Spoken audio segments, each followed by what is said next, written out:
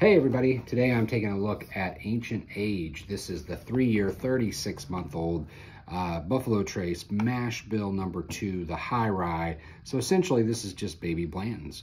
Um, what do I like about Ancient Age? Sometimes an 80 proof standard young bourbon is all you need in your glass.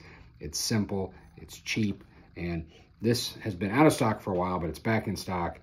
Makes a fantastic old fashioned on the nose, a little bit of an orange note here, um, a little bit of a fresh vanilla, fresh cut oak, maybe some red fruit, maybe even sort of like a ginger note as well.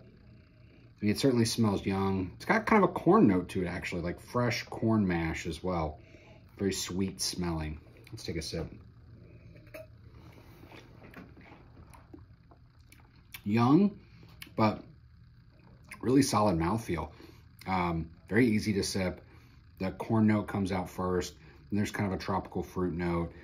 Um, the oak isn't heavy, isn't heavy here, but it's there in the background.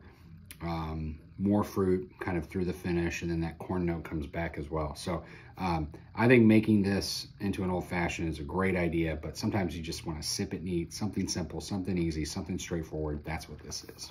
Cheers.